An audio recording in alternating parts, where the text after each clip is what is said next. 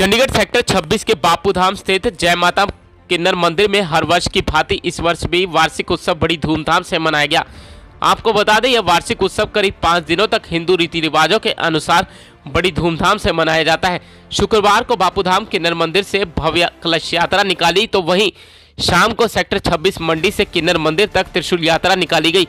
माँ कमली माता ने कहा, हर वर्ष यह उत्सव मनाया जाता है। पिछले वर्ष कोरोना काल के कारण यह उत्सव नहीं मनाया गया। इस महामारी से लोगों को निजात मिले, इसलिए इस वर्ष वार्षिक उत्सव का आयोजन किया गया। कमली माता ने कहा, हमें पता है, हमारे मन का विश्वास है कि माँ रेणुका देवी दुख को दूर करने वाली देवी है। माँ रेणुका देवी की पूजा करने से यह महामारी ठीक होगी आप भी सुने, माँ कमली माता ने इस अवसर को लेकर और क्या कुछ कहा।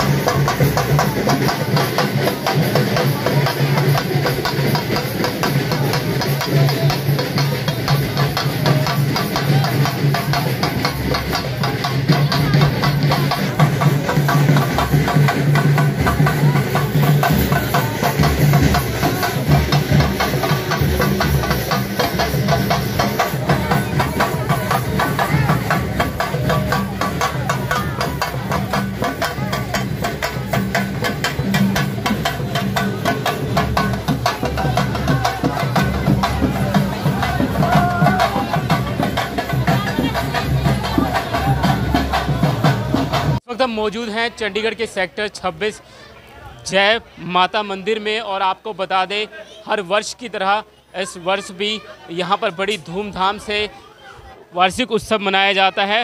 करीब पाँच दिनों का ये वार्षिक उत्सव होता है। किस तरीके से इसकी शुरुआत की जाती है पहले दिन से इस वक्त हमारे साथ मौजूद हैं कमली माता जी अ, माता जी क्या कहना चाहेंगे जिस तरीके से ये वार्षिक उत्सव बड़ी धूमधाम से मनाया जाता है? जो हर साल ये उत्सव मनाए जाते हैं पिछली साल हम मना ना पाए कोरोना का काल करके। और एक हमें पता है, हमारा मन की विश्वास है, ये माँ रेणुका देवी, शीतला माता का जो ये पूजा है, सावन महीना में इस, ये है ना, बीमार का काल है। ये माँ हमारी जैसे माता निकलते हैं, ऐसे दुख का दूर करने वाली देवी है।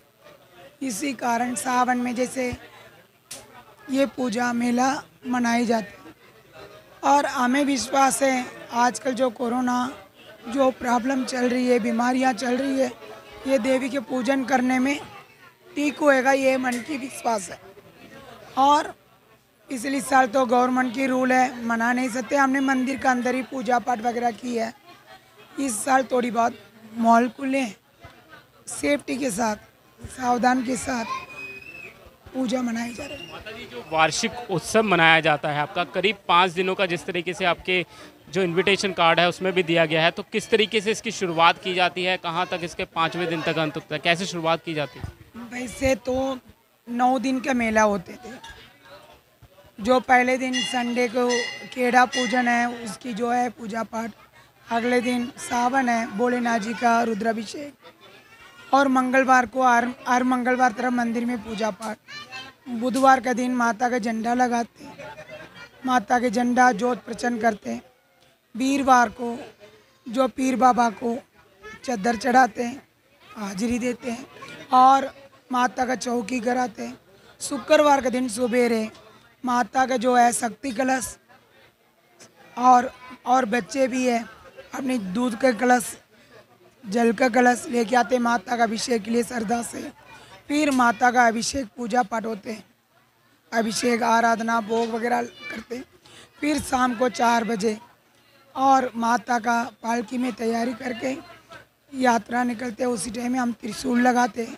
जो श्रद्धा से जो त्रिशूल लगाने वाले बच्चे भी त्रिशूल लगा के अग्नि कलश लेके माता का फेरा करा के मंदिर तक आते हैं। जिस तरीके से आज त्रिशूल यात्रा निकली, सुबह कलश यात्रा भी देखने निकली तो श्रद्धालुओं में काफ़ी उत्साह देखने को मिला। तो कैसे कहेंगे, कोरोना काल से पहले जिस तरीके से आपकी त्रिशूल यात्रा निकलती थी? और इस बार की बात करें तो कैसे पहले की तरह उत्साह था या नहीं? जो जो हमेशा त्रि- त्रिशूल पूजन में सबको बताते हैं और बहुत भगत लोग शामिल होते हैं।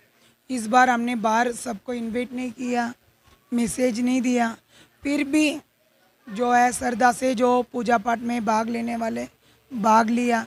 और हमारा बच्चे लोग भी है, हमारा भाई लोग भी है, बहुत सहारा दिया। जैसे सारे कोऑपरेट किया है। जैसे डिस्टेंस रखना सोशल डिस्टेंस रखना मास्क वगैरह पहनना और एक डिस्टेंस का मेंटेन करने के लिए दूरी बना के लेके आए यात्रा में। बहुत अच्छा लगा, बहुत अच्छा लगा। सबने साथ दिया हमारा मन के तसल्ली है। डिस्टेंस भी मेंटेन किया, पूजा भी किया, इसलिए मन को बहुत अच्छा लगे। और एक माता के ऊपर विश्वास है। ये बीमारियाँ सारे महामाई का आ गए। महामाई के ऊपर जो विश्वास है ये सब कुछ दूर हो जाएँगे। इस वक्त हमारे साथ समाज सेवी और कांग्रेसी नेता जैंकी कालिया जी भी मौजूद है। जैंकी कालिया जी जिस तरीके से ये वार्षिक उत्सव हर वर्ष की तरह इस वर्ष भी मनाया गया क्या कहना चाहेंगे? देखिए सावन का महीने का मतलब है कि देश की कन्याकुमारी से लेकर कश्मीर तक एक आस्था का रूप उमड़ के आता है। हमारे देश का विश्वास देवी देवताओं से बहुत जुड़ा हुआ है। बड़ी खुशी होती है कि जब किसी भी स्टेट में में आस्था के साथ जब लोग जुड़ के ऐसा कुछ करते हैं तो दिल को भी तसल्ली मिलती है और खुशहाली बन ये है, ये पिछले कई सालों से होती आ रही है। किन्नर समाज की माता कमली देवी जी, खाली ये पूजा की बात ना करें आप। कितने बच्चों को इन्होंने अडॉप्ट किया हुआ है। कितने बच्चों को ये स्कूल कॉलेज कितनी उनके घरों के खर्चे उठा रहे हैं। शायद मैं शब्दों के माध्यम से कुछ नहीं बता पाऊँगा। पर इतना ज़रूर है कि इनके इनके पास जो भी कोई आया है किसी देवी का अवतार की तरह है कभी कोई खाली नहीं गया यहाँ से। और आस्था आस्था का शब्द नहीं है मेरे पास जवाब नहीं है। आस्था हमारे देश में कण कण में बसती है। सलीम।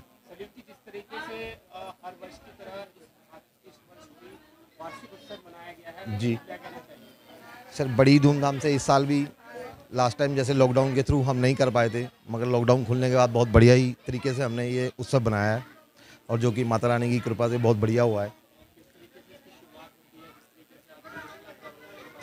ऐसा जी सावन के महीने में लोगों की मन की भावना होती है, जिसमें ये साउथ साइड का ये उत्सव है, उसमें लोगों को अपनी मन की भावना के लिए जो भी है, अपना त्रिशूल से, अपनी त्रिश- रुको। अपने त्रिशूल से हम अपनी मन की भावना प्रकट करते हैं और माता रानी के लिए हम अपना मन से अरदास करते हैं। ये थे कांग्रेसी नेता और इनके द्वारा कहना था कि जिस तरीके से आस्था के से यहाँ का ये वार्षिक उत्सव बड़ी धूमधाम से मनाया जाता है वर्ष की तरफ़ ये तस्वीरें हम आपको चंडीगढ़ के सेक्टर 26 बापू धाम से दिखा रहे थे। चंडीगढ़ से अजीत झा की रिपोर्ट।